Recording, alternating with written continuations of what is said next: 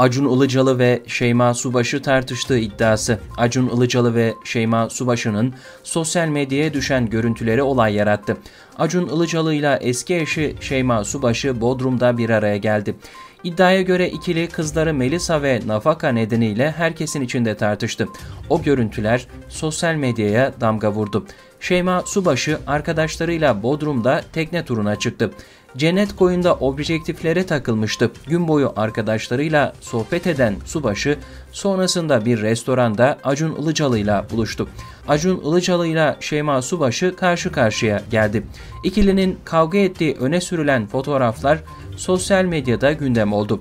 İddiaya göre Ilıcalı ve Subaşı herkesin içinde tartışmaya başladı.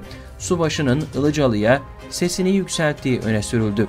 Yaşananların ardından Ilıcalı mekanı terk etti. Yaşananlarla ilgili ikiliden bir açıklama yapılmazken tartışmanın Subaşı ve Ilıcalı'nın kızı Melisa'nın velayeti ve nafaka ücreti nedeniyle çıktığı iddia edildi. Hiçbir siyasi kurum ve kuruluşa bağlı olmadan gerçekleştirdiğimiz bağımsız yayınlarımız için videolarımızı beğenmeyi, kanalımıza abone olmayı unutmayın.